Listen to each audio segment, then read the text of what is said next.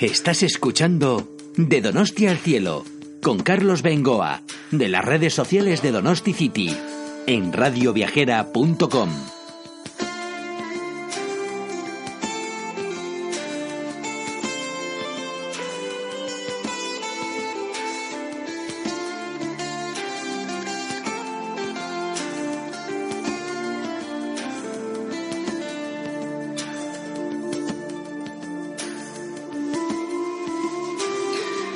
amigos de Radio Viajera, bienvenidos un nuevo podcast a nuestro programa de Donosti al cielo. Aquí estamos un día más en San Sebastián. Soy Carlos Bengoa, responsable de las redes sociales de Donosti City. Nos podéis seguir todos los días en donosticity.org y en todas sus redes sociales, porque estamos en Facebook, en Twitter, en Instagram, en LinkedIn, en YouTube y aquí en Radio Viajera, tratando de contar a todos los amigos, a todos los turistas, a todos los donostierras también, que a veces desconocen cosas de nuestra propia ciudad.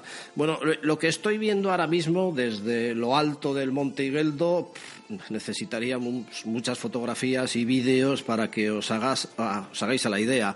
Eh, sin duda alguna son las mejores vistas de la ciudad. Ahora mismo, ya en plena tarde, eh, el sol lo tenemos a nuestra espalda e ilumina toda la bahía de la Concha con alguna nubecilla blanca por el horizonte de estas nubes altas que luego se nos pondrán rosas a medida que el sol vaya perdiéndose por la línea del horizonte.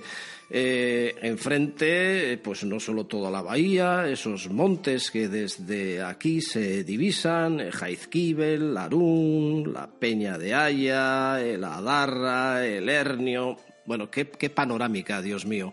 Eh, os voy a decir una cosa. En la página web de la Asadora que es un referente dentro de nuestra ciudad, pues porque está eh, ya digo, en un monte eh, histórico con su parque de atracciones Belle Époque eh, y con estas vistas descomunales. Hay una webcam desde la cual podéis ver toda esta maravilla natural que es San Sebastián, sus alrededores y esta bahía de la Concha.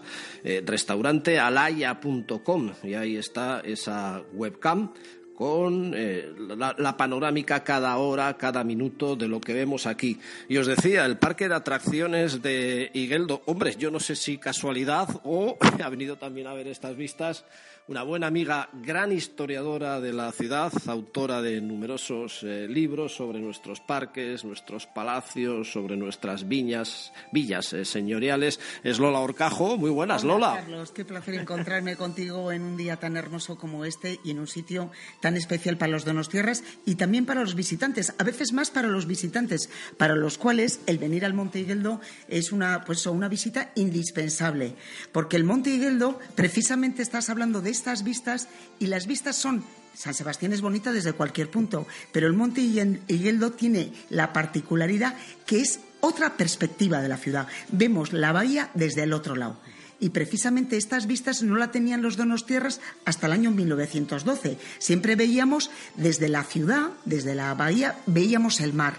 Aquí la vemos justo del lado contrario. Desde el Monte Higueldo se observan la bahía enfrente, enfrente los montes. Por lo tanto, esto se lo inventaron en 1912. O sea, me estás diciendo que hasta entonces en este monte no había nada. Fíjate que panorámicas, hombre, no había igual ni Semana Grande ni fuegos artificiales, porque ver desde aquí los fuegos artificiales una noche con buen tiempo, eso sí, es algo que no tiene precio. Pero hasta 1912 no había absolutamente nada aquí. Bueno, sí, estaba el Torreón. Este monte que ahora le llamamos siempre Monte Higueldo, también se llamaba Monte Frío y Chubillo, y en ah. el cual solamente había un torreón que había sido el antiguo faro.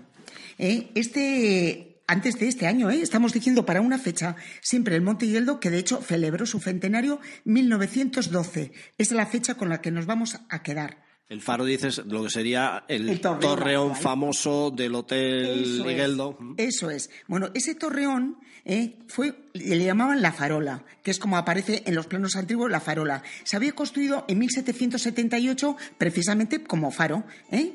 pero había quedado, en las guerras carlistas, había quedado arruinado. Eh, entonces, si vemos las fotos antiguas, cuando ese monte, ese monte frío, ese chubillo, también la llama Arrobi o Arrimendi, estaba un terrón semi-arruinado ¿eh? y como en las guerras carlistas sí que había servido como de fortificación, lo que había eran restos de, muralla alrededor de ese, eso se quitó, ¿eh? alrededor del torreón. Eh, ese faro que había estado pues ahí donde vemos el torreón actual de, que estamos viendo del Monte Higueldo, se había sustituido eh, por el actual faro, que está ya en la bajada por la carretera que llamamos del faro, en 1855, con lo cual desde 1855 ya no tenía ningún valor más que luego el, de Fortín de guerra carlista. ¿eh? Entonces, bueno, eso es lo que se encuentran ¿eh? un monte pelado, porque tenía en la parte de donde está la torre de Satrusti, abajo había una cantera Aquello estaba sin vegetación y el torreón semiderruido en la cima del Chubillo, del Monte Frío. ¿eh? Imaginamos por qué se llamaba Monte Frío, ¿no? Vamos, no tardaron mucho a partir de entonces los donostiarras en darse cuenta que a ese monte había que sacarle un poquito más de partido, que esa frialdad. Eh, sí, pero bueno, Encima, además, los que se dieron cuenta de que había que sacarle partido porque las vistas eran inigualables, no fueron precisamente los donostierras, sino que fueron un grupo de empresarios y ingenieros todos navarros de ah, Pamplona. Ah, los navarros siempre les ha gustado mucho Donosti y para 1912 lo conocían perfectamente. Y vamos a hablar de quienes forman precisamente la sociedad Montigueldo. ¿Eh? Y son todos navarros. Tenemos a Baristo San Martín, que era un abogado y fue también promotor del Parque de Archanda en Bilbao unos años más tarde. ¿eh? Ramón Arteaga, los vamos a mencionar porque fueron unos navarros emprendedores que se les ocurrió una idea muy estupenda. Eh, Emilio Wifi, que era ingeniero, y que fue el ingeniero que participó precisamente en la construcción del funicular, del cual enseguida vamos a hablar, Joaquín Solórzano, que era especialista en instalaciones electromotrices, y Paulino Caballero, que tiene una calle en Pamplona, en San Sebastián no la tiene, no sé por qué, pero fue catedrático, o sea, este señor era navarro, era de Pamplona, pero vivió aquí, de hecho en una villa que la hizo para él, que es una villa que tenemos en Atagorrita. Algún día hablaremos de ella, de la torre, de la casa Villa Dolorecho, ¿eh? que ahí vivió eh, Paulino Caballero, fue catedrático del Instituto Provincial de aquí de Donosti, fue fundador del Ateneo Guipuzcoano, o sea, tuvo una implicación en la vida social de San Sebastián muy importante y fue también el primer presidente de la Sociedad Oceanográfica, o sea, del Aquarium. ¿eh? este señor. Bueno, pues con estos y como presidente de la Sociedad Montigueldo, Eduardo Dupuy, que era el del Hotel de Londres, Ah, ¿Eh? Bueno, pues todos ellos son los que se van a meter en esta empresa de compra de terrenos que va a ser la sociedad Montigueldo, fundada pues un año antes de la inauguración luego del funicular. Eso estamos hablando de 1900. Cuando se funda la sociedad en el 11, 1911, y un año más tarde ya está en funcionamiento el principio. Y fijaros que esta idea de parque de atracciones ya se les había ocurrido también antes en San Sebastián. Se les había ocurrido con cuáles? Pues con el parque del Monte Ulía, del cual no queda en sí del parque nada, ¿eh? más que bueno lo que llamamos el molino, que son los restos de un restaurante que hubo, ¿eh? pero no queda nada más y que este parque del Monte Ulía tenía un autobús que primero llegaba hasta la ladera y luego iba subiendo. O sea que esa era, ese se fundó el de Ulía en 1902 y una de las principales atracciones era ir subiendo a Ulía en una especie, en un tranvía. ¿eh? Bueno, y otra atracción que le pusieron fue un transbordador el transbordador que era del estilo Torres Quevedo, que salvaba de una pendiente a otra. Entonces, ahí ya teníamos un parque de atracciones que estuvo muy de moda.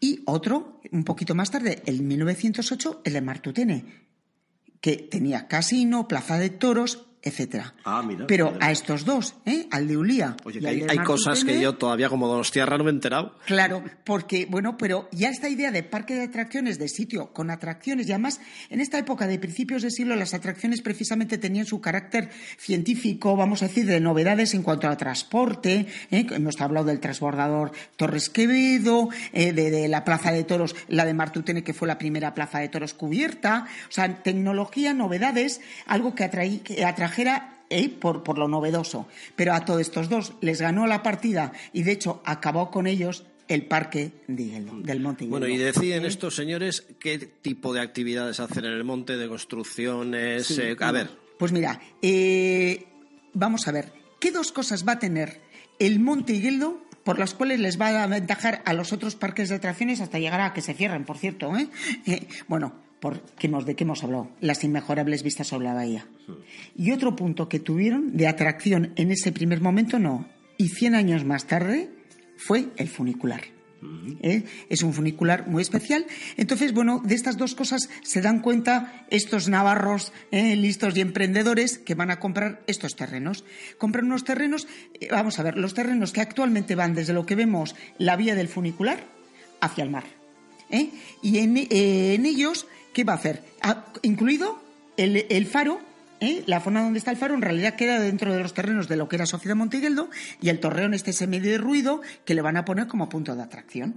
Bueno, pues y los objetivos que se pone esta sociedad, ¿eh? que ya lo ven muy clarito, son Primero, construcción de una carretera, si no imposible. Hasta entonces no había más que carretera, como hemos dicho, hasta, hasta la cantera de Arbisqueta y luego, sí, un camino pero carretil totalmente, que daba servicio al faro que ya estaba en la ladera. Se había suprimido el faro arriba, porque en realidad con las nieblas que suelen cogernos aquí arriba, pues muchas veces no era como útil, con lo cual lo bajaron como a media, a media ladera. Y ah. es el actual faro, en 1855, como hemos comentado. Entonces, van a hacer una carretera en condiciones, que es lo que llamamos actualmente la carretera del faro, pero es una carretera propia ¿eh? de, de subir al Monte Higueldo, el funicular la estrella, ¿eh? y además arriba, en la cumbre, la construcción de un edificio que va a servir de restaurante, de casino y en principio solicitan de hotel. Que os deis cuenta que no es lo que vemos en la actualidad. El hotel, tal como lo vemos en este momento, es del 1967. Se derribó el antiguo edificio, que era del año 12, de 1912, y se hizo el actual. Y se hizo entonces hotel. ¿eh? Pero en un principio no tuvo hotel aunque el proyecto allí quedó. Vamos, estamos viendo en 1912-15 un monte pelado, porque decía si no había vegetación, curioso también, en el cual eh, se empieza ya a construir el funicular, todavía queda el faro arriba, no el hotel, y el parque, bueno, las casas salpicadas en las laderas. Empiezan entonces. ¿eh? una vez de que la sociedad, lo primero tiene que hacer esa carretera, que es un trabajo costoso y también están haciendo ya el funicular. De hecho, el funicular, luego vamos a hablar extenso de él, tiene una particularidad que es que el primer vagón es más ancho porque sirvió para subir materiales para la construcción del hotel de arriba o del ah. casino de arriba. ¿Y sigue siendo más ancho? Sí. Ah, ah mira, no me había fijado. Sí, mm, sí, mm. así es. Y desde luego el negocio, como siempre en San Sebastián, aparte de todo esto, eh, era la urbanización de los terrenos. Vender los terrenos, que son los terrenos con las villas, de las cuales todavía nos quedan unas cuantas y que mucho tiempo más tarde, en los últimos, vamos a decir, 20, 30 años, se han ido tirando villas y, como siempre, eh, construyendo edificios más grandes en esa ladera que da al mar eh, del Montefrío. ¿eh? Pero ese fue el proyecto que tuvieron y así, bueno, eh, en los, ¿Qué había en esos terrenos? Como hemos dicho, si cogemos una foto antigua, bueno, lo primero, una foto antigua de San Sebastián para saber de cuándo es, un dato siempre significativo, si arriba hay edificio, el torreón está reconstruido y está el funicular, es posterior a 1912. Ahí tenemos la, mm. ¿eh? la clave, vamos a decir, para decir. Bueno, pues que habíamos dicho que estaba esa cantera de arbisqueta que hacía que los terrenos estuvieran también muy pelados estaba la cárcel, que se había hecho en 1885, eh, que ahora queda como un monolito explicando ya en la parte de Ondarreta donde había estado la cárcel, ¿eh? Eh, y, estaba la Torre Satrustegui, que también pasaremos luego por ella. Esa especie de castillo, ese se había construido en el 83. Y el resto no había nada de nada sí que había, donde está ahora la actual plaza del funicular, dos caseríos que eran los arrocas. ¿eh? Casería Arroca Ondi y Arroca Chiqui. Ah. Que esos son los que va a comprar también la sociedad Montigueldo. Mm. ¿Mm? Bueno, entonces, ya simplemente la construcción de la carretera que va haciendo esas, esas revueltas ¿eh? que sube hacia el faro, esa es la que hacen ellos nueva, bueno, costó un montón, fue una obra de ingeniería muy importante porque es un terreno complicado y más con la maquinaria que había en el momento, ¿no? Vamos a decir, es decir, la carreta, los bueyes y a tirar de piedra y a ir asfaltando, sujetar el terreno, etcétera. ¿eh? Solamente había, como hemos comentado, un camino carretil de servicio al faro, pero no era una carretera. ¿Eh? Y, luego también hacen el enlazar esa carretera con la carretera que sí que iba al pueblo de Igueldo. Esa sí que estaba ahí, al observatorio del Padre Orcolaga, al observatorio meteorológico. Tienen que enlazar con esa carretera que había.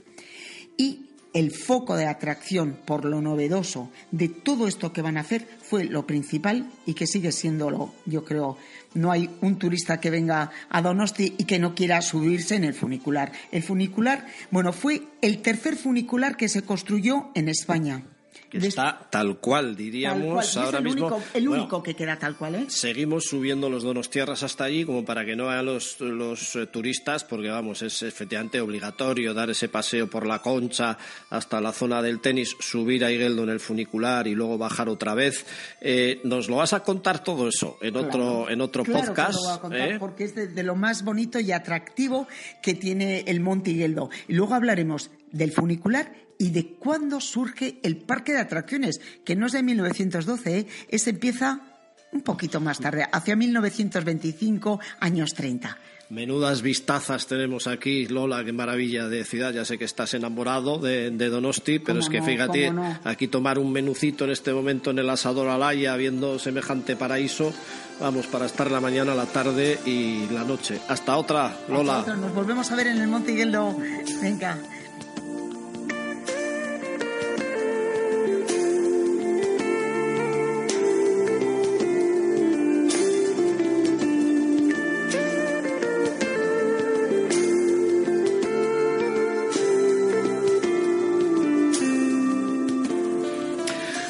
Bueno, que aprovecho que hoy hace viento sur, voy volando encima de mi mascota Gaby, esa gaviota de 118 kilos de peso, pues para soportar todos los viajes que hacemos y eh, de Donosti a Ondarribia, pues seguir la línea de Ulía y de Jaizkibel, pero voy a parar primero aquí porque, bueno, ver desde arriba la estampa de Pasaya, esa bocana de puerto con San Pedro, San Juan, con Ancho, es maravilloso. Para por aquí, eh, además le estoy viendo desde las alturas a Izaskun Suberbiola y nos va a contar ella fenomenal. Aquí mismo vamos a parar, Gaby. E Izaskun, muy buenas.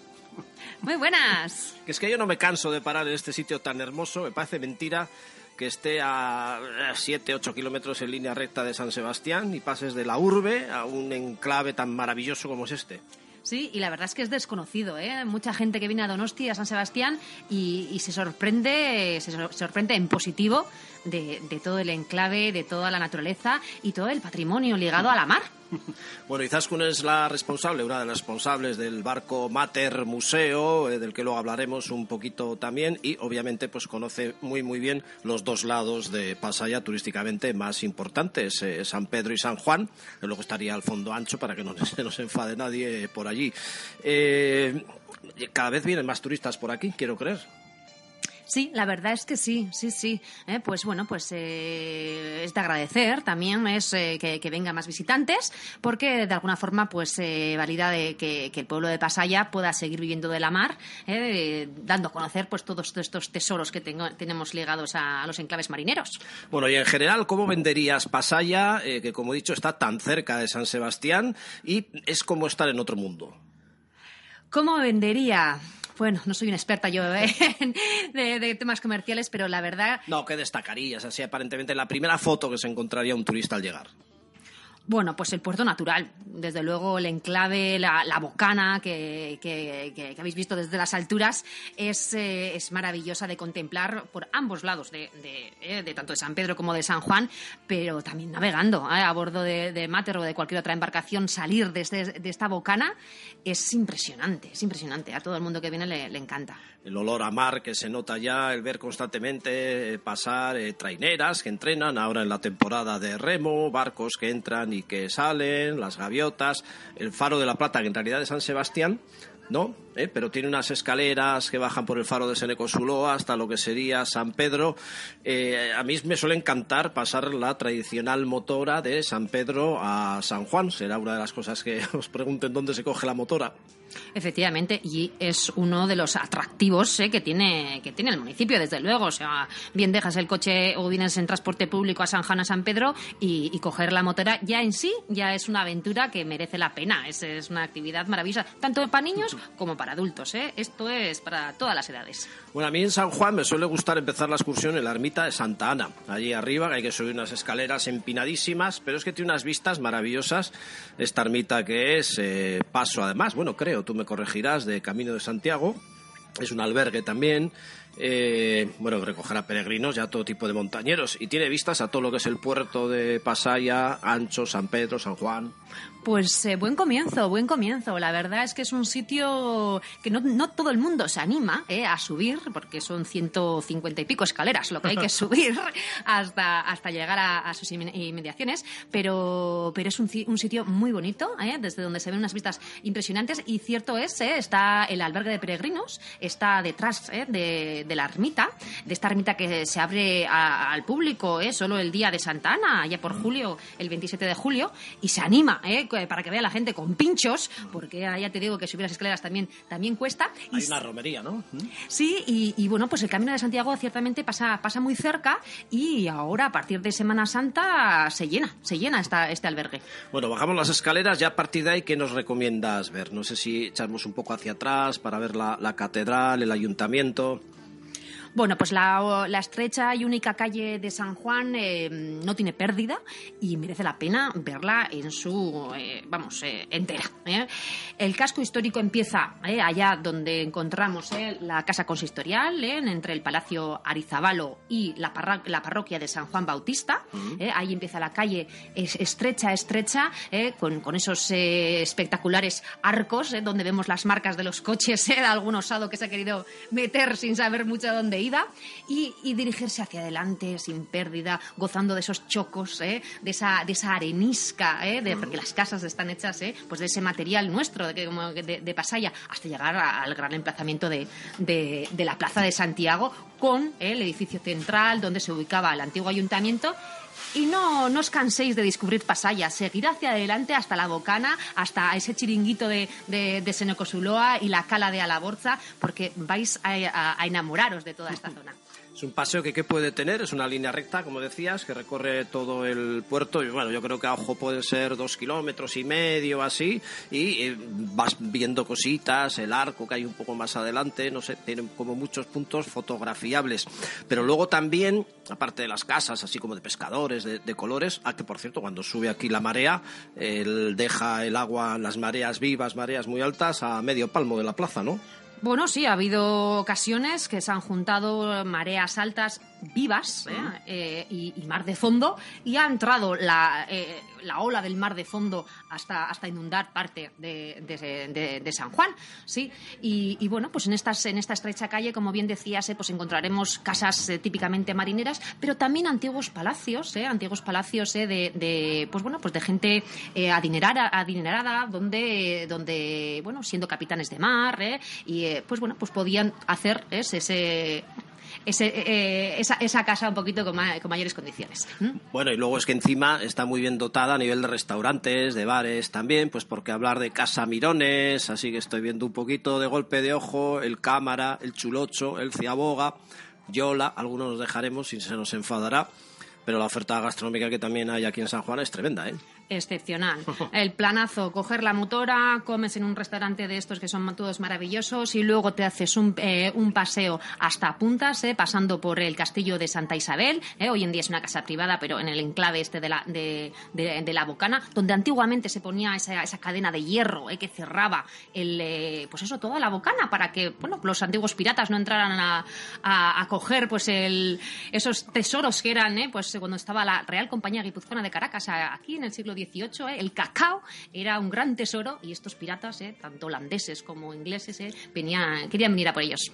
Bueno, hablar culturalmente de la casa de Víctor Hugo, el escritor francés que tuvo a bien quedarse aquí, pues porque se quedó enamorado de esta zona como no podía ser de otra forma y escribió al respecto. luego, pues Lafayette, cuando salió a ayudar allí en la Guerra de la Independencia de Estados Unidos, que encima está rodeado de una historia tremenda, porque si ahora pasamos al otro lado, que sería San Pedro, y recorremos la entrada del puerto de Pasaya por el otro lado, pues también, también aquí tenemos temas culturales eh, tremendos. El propio Mater vuestro, el Museo Albaola. Efectivamente, son eh, enclaves marineros que no os podéis perder. ¿eh? Pasaya de, realmente da, da para una jornada o más. ¿eh? Y bueno, ¿cómo no hablar de, del remo? El remo que ha sido tan importante, es tan importante hoy en día y lo ha sido. Aquellas bateleras ¿eh? que iban con sus pequeñas embarcaciones a remo, aquellos bateles iban en busca de embarcaciones mayores ¿eh? para, para el atoaje, para el sistema, eh, para, para, para, para traerlos en remolque. ¿eh? ¿Cómo no hablar también ¿eh? de, del más ilustre pues navegante que hemos tenido aquí en Pasaya, don Blas de Lezo, que nació aquí en la estrecha calle justo al lado de, de, del Mater? Bueno, re- realmente tiene mucho, mucho, mucho para gozar y disfrutar. Bueno, nos lo cuentas con un entusiasmo tremendo y es una gozada escucharte. Ahora me tengo que ir a Ondarribia con nuestra gaviota Gaby de 112 kilos de peso, porque ya, me tiene que soportar encima, pero así vamos muy fácil de lado a lado, ¿eh? Y Zascu, muchas gracias. Un placer, un saludo.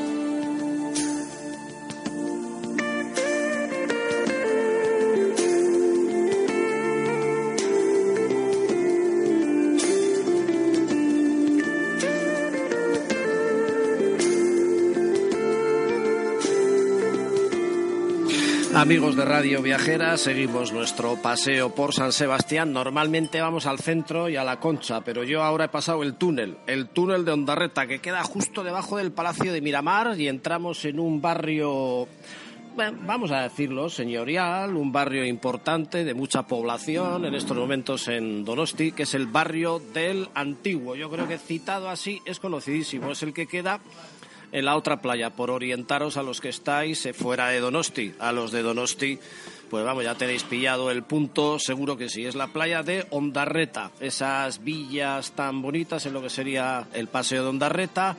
El Monte Higueldo lo dejamos ahora a nuestra derecha con el funicular. Entramos en el barrio del Antiguo, callejeando por la mítica calle Matía. Para los donostiarras esto es un referente de nuestra ciudad y seguimos avanzando. Lo que pasa que ahora, claro, tanto programa de gastronomía que solemos hacer también, eh, pues nos vienen ahora los olores de las brasas en no sé dónde exactamente, pero bueno, yo voy fisgando por aquí porque con el hambre que tenemos y con la afición que tenemos a las brasas, en realidad toda la cocina vasca, ¿eh? no os voy a engañar, ya hemos hecho diferentes podcasts de gastronomía con diferentes cocineros, aquí estoy oliendo yo, aquí estoy oliendo yo la rebotica, la rebotica con K, pues voy a entrar porque es un establecimiento así coqueto, hombre, encima conozco a Laura Matesanz, que no sé si está aquí de comensal o es que es suyo el negocio, Laura, muy buenas.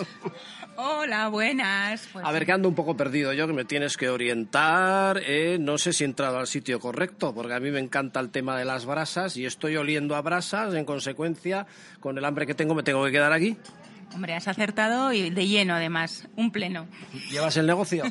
Llevo el negocio, llevo el negocio, sí, sí, sí, sí. Bueno, pues, pues fenomenal, vamos. Va- Vamos a empezar a hablar de la cocina vasca y de eh, un poquito así de entrada, ¿eh? lo que es el tema. Yo no sé si en general tenemos la tendencia a pensar que la brasa es chuleta, que es carne, el chuletón vasco, lo mucho que comemos, eh, podríamos ir bien por ahí. Por supuesto. El nuestro además es kilómetro cero, que está muy de moda ahora, porque es de Asteasu, chuletón de Asteasu. ¿Qué es, ¿Qué es eso de kilómetro cero? Explícanos. Bueno, yo ya lo sé, ¿eh? pero los amigos de Radio Viajera pues igual andan un poquito más perdidos. Producto de cercanía, vamos, en resumidas cuentas. En nuestro caso, de, de nuestra tierra, de aquí al lado, de Asteasu. Ah, bueno, mira, de hecho hace poco hicimos una entrevista a Xavi Zabaleta, cocinero de Larach, eh, que han montado Jaquitea, una asociación para defender el producto nuestro, que es muy rico, hay cocina más sofisticada, grandes cocineros, por supuesto, pero lo nuestro como que tiene mucha salida en estos momentos o no. Hombre, por supuestísimo que sí. Es que es lo que se vende y yo pienso que es lo que se debe de vender, ¿no? Primero estamos nosotros, digo yo. Nuestra huerta, nuestro, todo, todo lo que nos rodea. Oye, ¿por qué le habéis puesto de nombre La Rebotica? Bueno, pues, ¿qué te voy a decir? Es un- yo asocio siempre la palabra rebotica a trastienda, a pupurrí, a mezcla. Y bueno, como la idea era también poder vender, que de hecho también se hace, por ejemplo, los arroces a la brasa salen un montón en takeaway, eh, pues tanto que puedes comer aquí, degustarlo aquí, o te lo ponemos para llevar en un momento y es una tienda, una mezcla. También tenemos alguna cosita a la venta que no tiene directamente mucho que ver con la gastronomía, pero bueno, un poco de Upurri. Oye, no hay muchos establecimientos de, donde comer carne a la brasa. A ver, si sales por la provincia, seguro que sí, pero en San Sebastián como que no hay eh, tantos, eh, como os dio, precisamente por hacer un establecimiento donde se pueda comer todo a la brasa, porque es que encima es que es todo, no solo las carnes, sino incluso una tortilla de patatas, por lo que estoy viendo aquí que estáis sirviendo a todas las mesas.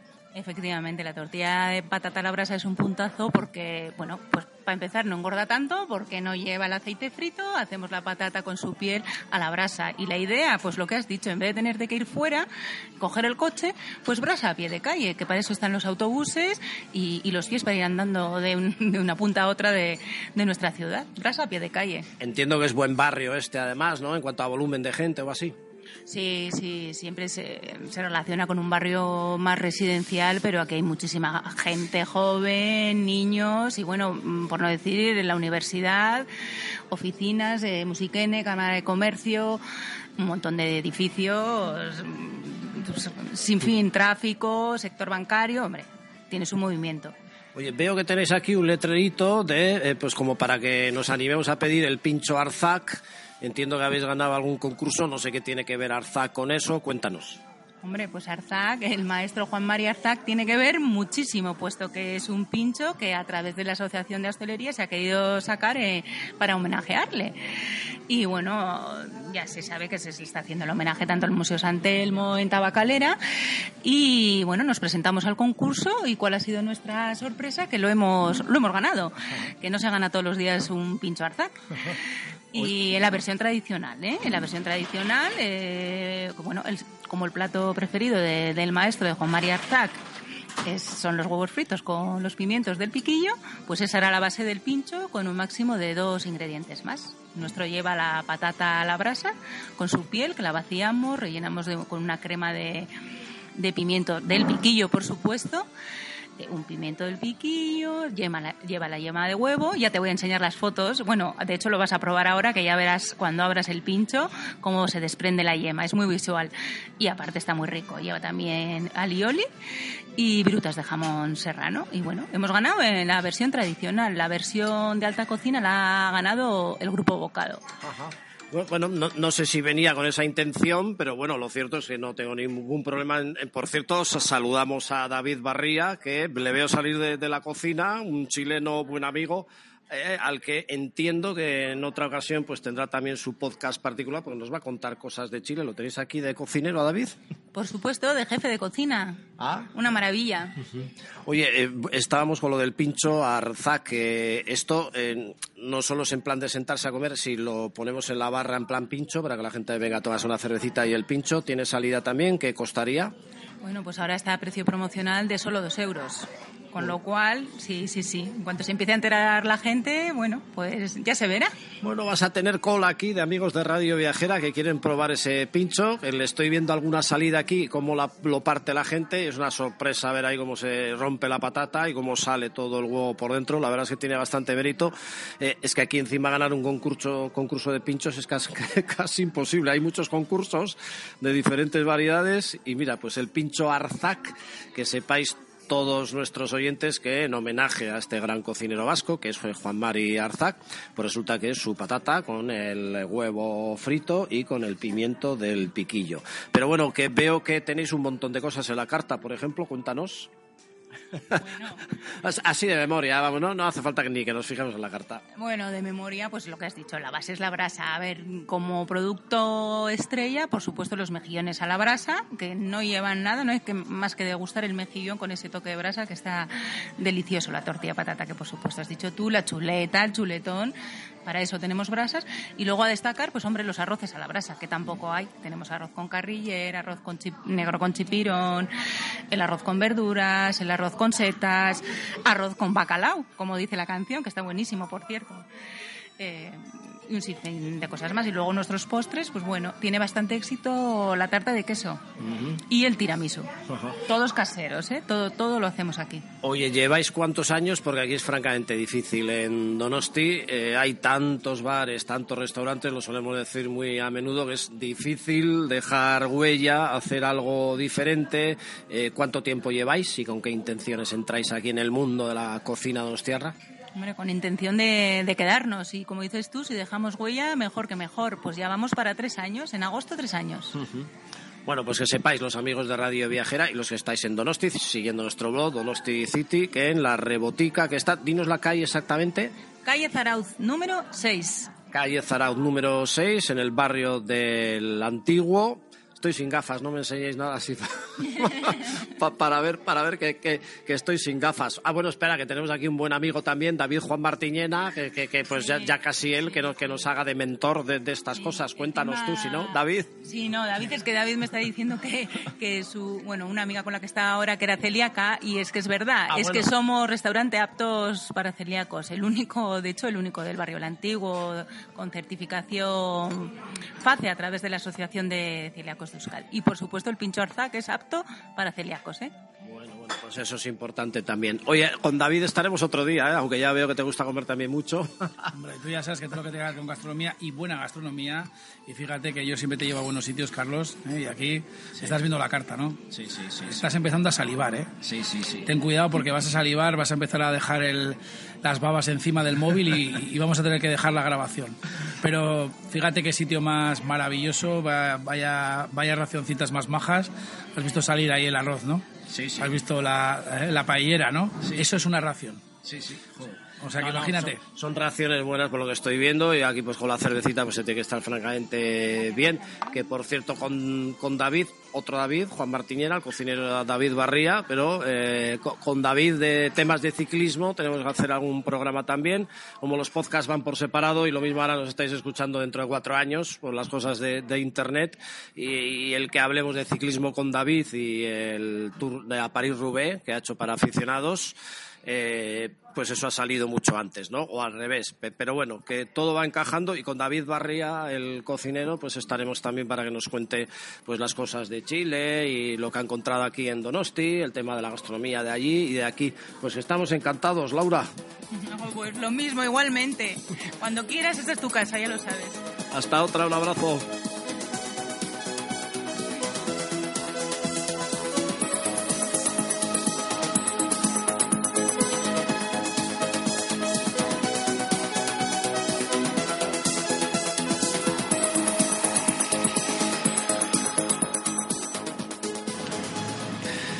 Bien, me toca ahora acelerar un poquito el paso. ¿eh? Estoy por el Boulevard Donostiarra, se va acumulando la gente en la zona del puerto.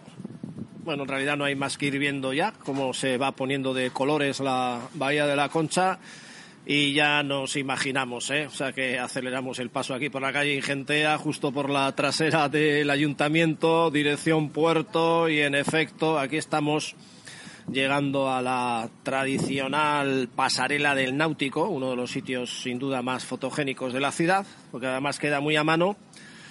La gente mira hacia la bahía, hacia la zona de la isla, el monte Higueldo, y claro, hoy el sol nos brinda un espectáculo antológico. El sol y las nubes, ¿eh? que a veces suele ser lo mejor. Imagínense la bahía iluminada de un tono tenue rosa, naranja, las nubes que hay, mayormente de viento sur, están pintándose ya definitivamente de naranja, de un rojito claro, rosas en algunos momentos, que con el color del cielo azul, pues no les extrañe a todos nuestros seguidores que la pasarela del náutico esté repleta de gente que hoy en día, con el teléfono móvil, pues está plasmando estas imágenes. Veo fotógrafos ya de los más buenos con el trípode montado sacando fotos, hombre, más de profesionales. Hombre, si está aquí Darío Garrido, uno de los mejores fotógrafos de la ciudad. Darío, mientras le das al play de la cámara, o como se llame, tranquilo, que nos vas a hablar un poquito aquí, porque esto es un privilegio, ¿eh? Sí, sí, es un lujo. Esta ciudad, esos atardeceres y estar aquí siempre es un lujo. Se habla mucho de los atardeceres de todo el mundo, cada uno tiene su encanto, obviamente, pero el hecho de que haya aquí nubes les da siempre un colorido especial. El día que se ponen como hoy, claro, rojizas, naranjas, es que es un festival de colores bárbaro esto. Sí, sí, siempre para completar un poco la escena, en vez de que esté todo liso, que haya unas nubes, siempre le da más gracia a la foto. Oye, decía yo que eres de los mejores, no sé si el mejor o uno de los mejores de la ciudad. Posiblemente sí seas de los más veteranos. Hoy en día ya saca todo el mundo con los móviles, hay más facilidad para sacar eh, fotografías, pero de los que estáis de toda la vida, posiblemente seas tú y alguno más en todo caso. Sí, bueno, ahora ya habrá más gente, ¿no? Pero sí soy de los de que empezó con carrete, con diapositiva, cuando era más estricto, más complicado todo y bueno, aquí seguimos después de un montón de años con la misma ilusión de siempre. Ha cambiado mucho con las nuevas tecnologías. ¿Se puede decir que saca foto cualquiera o hace falta ser verdaderamente profesional para sacar verdaderamente bien una fotografía? Hombre, luego las buenas siempre está el ojo del fotógrafo y saber colocarse, saber el día que tienes que ir, a qué hora y todo eso. Luego a la hora de hacer la foto es más fácil ahora porque claro, hay más tolerancia al fallo. Antes era más estricto, hacías una diapositiva y en cuanto fallaras un poco se te quedaba oscura, muy clara. Ahora hay más tolerancia de corregir una foto si te queda oscura, clara, bueno, está más permitido. Aquí, por ejemplo, sin que nos oiga mucho ahora, esta señora que tenemos como muy cerca, se está haciendo un selfie. Es muy posible que eh, si sale ella clara, el fondo salga horrible o al revés, ¿no? ¿Qué, qué le dirías? Sí, hombre, claro, necesita un flash en primer plano para que salga el fondo bien. O sale una cosa oscura o clara, hay que elegir entre las dos. Bueno, vamos a ver, ¿qué tiene esta ciudad? Eh, podríamos decir muchas cosas, que en cualquier sitio se puede sacar una fotografía muy bonita. Decía yo ahora de todos los turistas, bueno, incluso de los tierras, que están ahora mismo sacando fotografías con los teléfonos móviles en su mayoría. La pasarela del náutico es muy mítica, pues porque queda al lado del puerto, al lado del ayuntamiento, en el mismo bulevar de Tierra, y porque, hombre, tiene un encanto ver esa pasarela de madera que sale hacia, hacia el mar. Pero esta ciudad puede ser una locura para un buen fotógrafo. Sí, siempre hay un montón de cosas que sacar. Esta ciudad, bueno, ya sabemos todas que es de las mejores que hay. Y siempre, por si no tienes el pene, luego si no tienes los balcones de las casas, tienes la playa, otra playa, un montón del puerto. Bueno, tienes un montón de cosas para volver de loco, para sacar fotos. Se dice también que cualquier época del año invita a sacar unas buenas fotografías. El invierno tiene su encanto, la primavera, el verano, el otoño. Sí, todo en su época, ¿no? Pues en primavera, pues las hojas de los árboles, algunas están tiempo más limitado, igual un mes. Luego, pues bueno, a veces nieva muy ocasionalmente. Luego, pues en verano, pues eso, pues todas las playas, todo el colorido. Pues bueno, al final cada época tiene su cosa. Y luego incluso las olas, bueno, hay un poco de todo hoy has venido a lo más típico, ¿no? Que es estar aquí como casi todo el mundo. A veces nos pilla de sopetón, ¿eh? Igual vemos que se va a meter ya el sol y dices, hoy qué tipo de nubes tenemos aquí, pues no queda otra que ir al, al náutico porque no hay tiempo para ir a otro sitio. Sí, al final también es venir. A veces igual vienes y no ves nada o de repente te sale un atardecer espectacular. Al final nunca se sabe, es un poco a ojo y bueno, lo que salga, ¿no? Ya veces lo encuentras espectacular, como a veces igual te piensas que va a haber algo que no hay nada, pero bueno, la cuestión es venir. Contra más vengas, más posibilidades tienes que hacer una buena foto. A ti te gusta mucho, sin embargo, sacar fotografías de rincones un poco más inéditos, ángulos que normalmente no sacamos nunca, eh, pues no sé, desde el Parque Cristinanea, las torres del Buen Pastor, los fuegos artificiales de Semana Grande, desde sitios que pues a lo mejor no se nos ocurren a los demás, ¿no? Eh, obviamente buscas un poquito los ángulos diferentes. Sí, también cuando llevas un montón de años haciendo las fotos, pues lo que te intentas es no repetirte, no, no hacer. Igual si haces siempre alguna foto que has hecho antes, ¿no? Pero luego buscar cosas nuevas, algo para que sea un poco más novedoso, ¿no? Porque si haces siempre lo mismo, al final te acabas cansando y pues y buscar cosas nuevas. Tú, por ejemplo, a ver si nos respeta un poquito el viento sur que tenemos hoy, que también el tiempo aquí es muy cambiante. Eh, no hace muchas horas estaba nevando y ahora nos estamos quitando hasta el jersey. ¿eh? Como este programa, bueno, puede ser atemporal también, se puede escuchar en los podcasts eh, tanto en febrero como en abril como en diciembre y el contenido al final pues viene a ser el mismo. Pero tú a un visitante, ya sé que es difícil elegir un sitio concreto o varios, pero ¿qué lugares le recomendarías como de obligado cumplimiento sacar una foto teniendo en cuenta pues la luz y la hora del día que sea?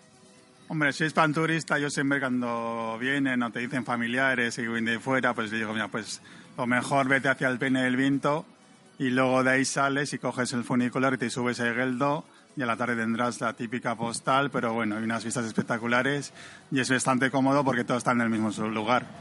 Y luego, pues con un poco más de tiempo, pues te haces el paseo de la Concha y ya tienes todo, el ayuntamiento, el puerto Alberdieder y bueno, en muy poco tiempo tienes todo. Y fuera de lo típico, seguro que hay rincones que también merecen, pues a nada que andemos un poquito por la propia ciudad y ese sitio que a ti te gusta en particular, que es tu favorito, al que no va nadie, un poco como secreto, eh, ¿cuál podría ser si no os lo quieres desvelar? Sí, bueno, tampoco secreto. Hubo una época pues que subía mucho orgullo, la verdad. Que además era un monte que muy poca gente subía. Iba gente igual pues con perros que vivían cerca de la zona, pero era un monte que era unas vistas espectaculares y que iba muy poca gente. Y luego a, y a nivel de mar, bueno, la vista es de lujo, ¿no? Y estabas muy, como muy solo, muy tranquilo y muy relajante. Y luego, pues bueno, más cerca de mi casa, pues bueno, tengo también Cristina Enea, que es un parque, bueno, que también está muy bonito y está muy acogedor y tampoco hay muy poca gente y se está muy tranquilo. Fuera de Donosti, lo que son un poco los alrededores, ahí no te solemos ver tanta fotografía. No sé si es porque te centras más en San Sebastián, pero mira que los alrededores, a media horita de coche mismo, tenemos grandes cosas para fotografiar. Sí, ya me he solido mover. En su día, sobre todo, pues antes, sobre todo con el tema analógico, así ya me movía. Entonces, un poco lo principal, creo que ya tengo, es Serratón de Guetaria, Oñate, la Basílica. Entonces esas zonas ya las tengo un poco sacadas, ¿no? Pero bueno, suelo ser más de quedarme en San Sebastián. Igual más de turismo, ir a un sitio así para cambiar, pero bueno, las zonas típicas de Guipúzcoa ya las tengo todas sacadas. Muy bien, como esto es hablar y no se puede ver, aunque intentamos hacer unas radiografías y unos dibujos exactos de lo que tenemos a la vista, como en este caso aquí desde el Náutico, que es una maravilla ver el atardecer de hoy. Algún día retransmitiremos también olas en directo, ¿eh? con comentaristas de cómo vienen, cómo saltan. Otro espectáculo de la ciudad. Pero para los que te quieran ver tus grandes arsenales de fotografías, Darío, en las redes sociales, ¿por dónde tendrían que entrar? Hombre, lo más sencillo es si entran a mi página web, que es dariogarrido.com, ahí te vienen todos los enlaces, pues eso, al Facebook que tengo tres páginas, Instagram, Twitter, pues bueno, ahí es donde entrando en la web, pues tienes los enlaces directos y ahí tienes fotos, pues eso, para hasta aburrirte.